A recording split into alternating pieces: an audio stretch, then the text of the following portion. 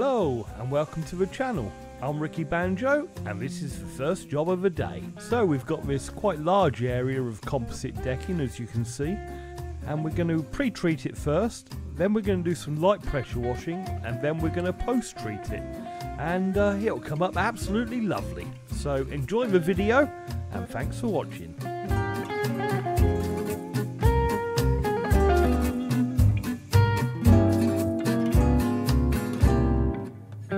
Thank you.